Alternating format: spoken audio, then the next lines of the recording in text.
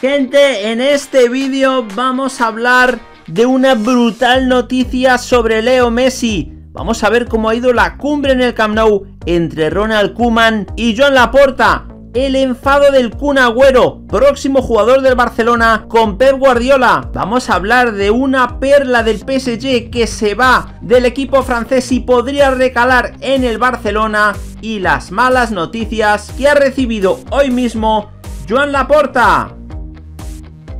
¡Vamos a ello!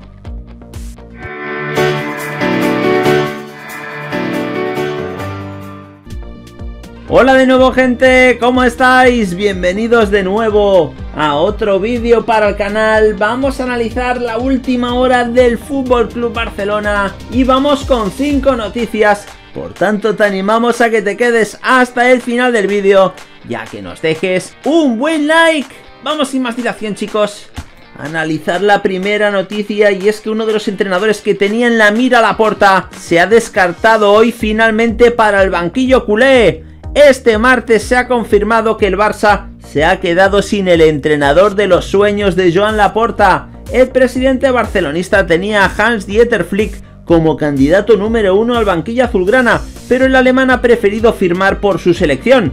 La Federación Alemana ha anunciado el acuerdo mediante un comunicado y el técnico ha dicho sus primeras palabras como seleccionador nacional. Hans Flick es el nuevo entrenador de la selección nacional.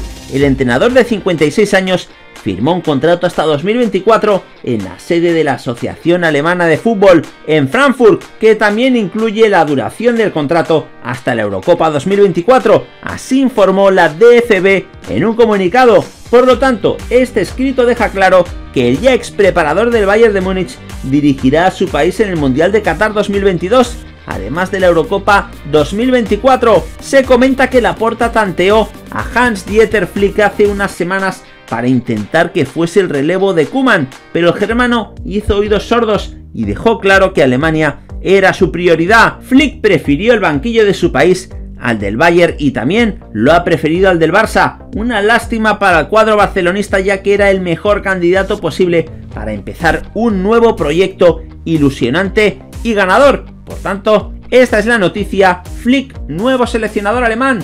Vamos a hablar ahora chicos de una brutal noticia sobre Leo Messi. El delantero del Barça volvía a ser una temporada más el futbolista más determinante de su equipo y también de la Liga Santander, donde ha liderado estos 14 apartados estadísticos. El argentino ha sido por quinta temporada consecutiva y octava en total, el máximo goleador del campeonato. Messi ha anotado 30 goles en 35 partidos, además de repartir 9 asistencias que añaden un nuevo trofeo Pichichi a su colección.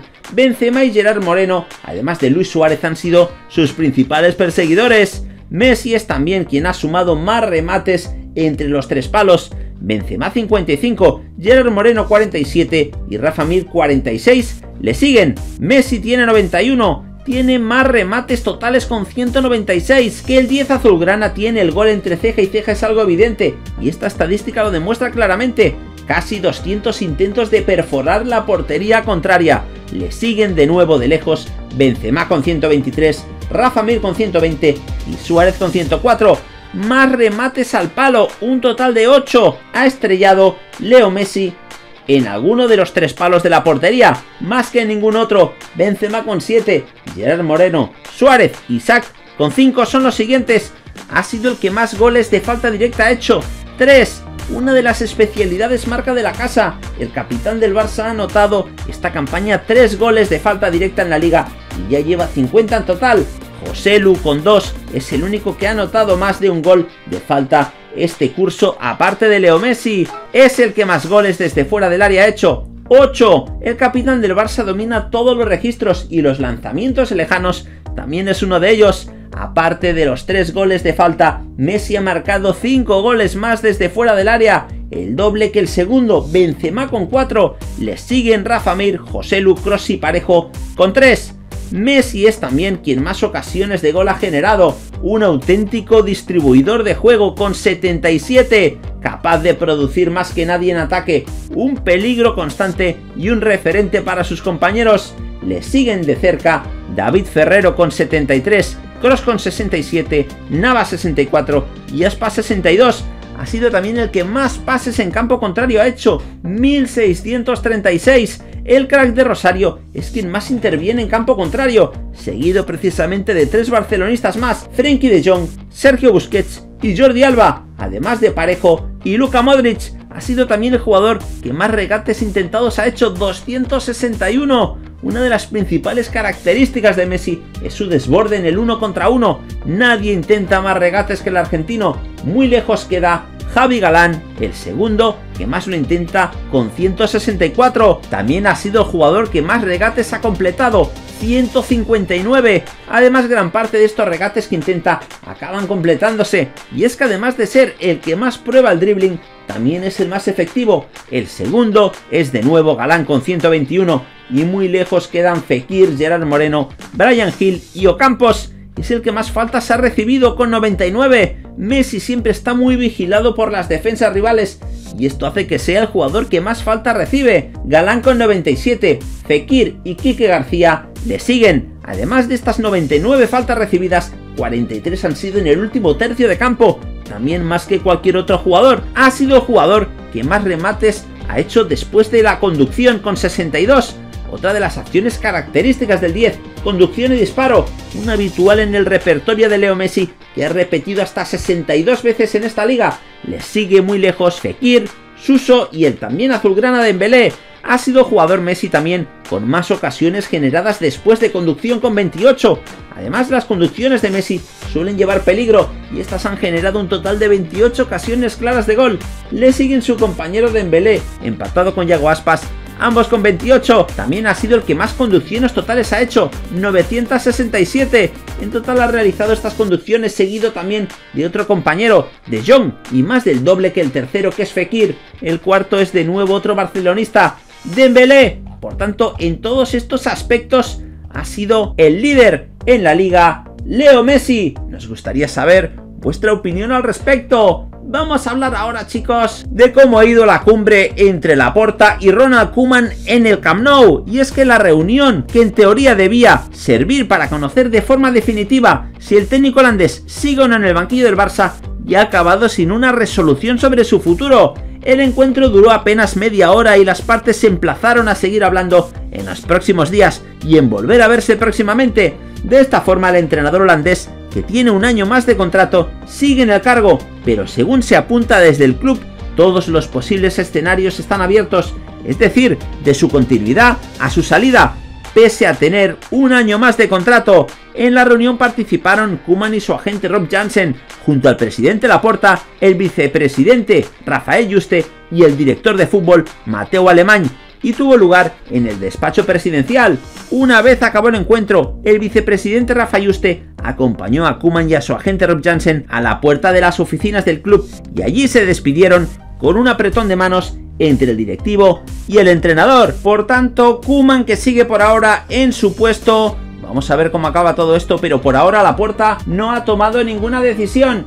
Y ya para acabar y muy rápidamente chicos, vamos a hablar del posible fichaje de Case Ruiz por el Barcelona. Y es que seis años después, Case Ruiz podría hacer el camino de vuelta al Barcelona. El jugador franco-marroquí ha dicho adiós al PSG en su cuenta oficial de Instagram y ahora emprenderá una nueva aventura ya con la mayoría de edad. Dijo lo siguiente, quiero agradecer desde el fondo de mi corazón a todos los miembros del club, el presidente, la plantilla, los diversos entrenadores que he conocido desde el inicio de mi formación y a todas las personas en la sombra que trabajan cada día dentro del club para que podamos estar en las mejores condiciones. Así lo publicó. El Barça se hizo con el joven en 2009, pero por la sanción de la FIFA, debido a los fichajes de menores, tuvo que dejarle escapar. Desde el Camp Nou, no obstante, creen que es el momento de que regrese para incorporarse al filial. Por tanto, chicos, vamos a ver si se hace oficial el retorno de Case Ruiz al Barcelona. Y ya para acabar y muy rápidamente vamos a hablar del enfado de Agüero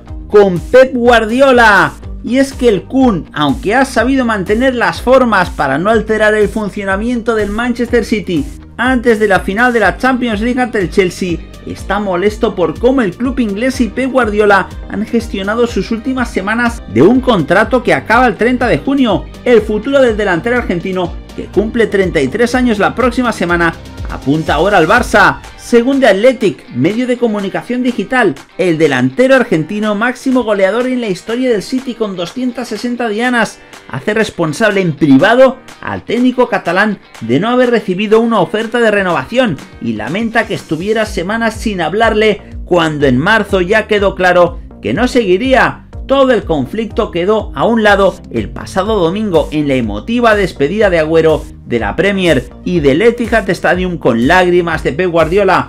Pasillo, abrazos, aplausos, risas y dos goles al Everton antes de la final de la Champions, pero siempre según el citado medio, la procesión iba por dentro.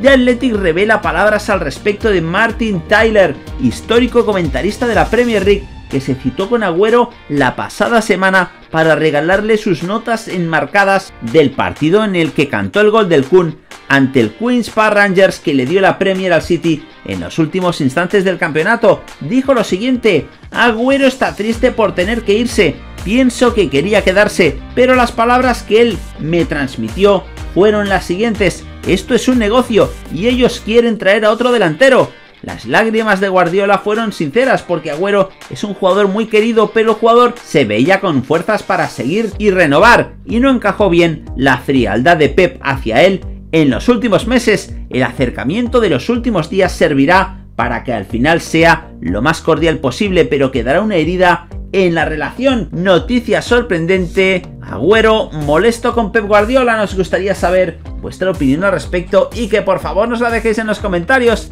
justo debajo de este vídeo.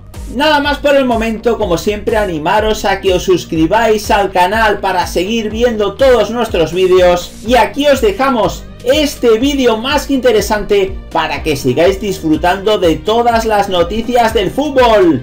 ¡Hasta la próxima!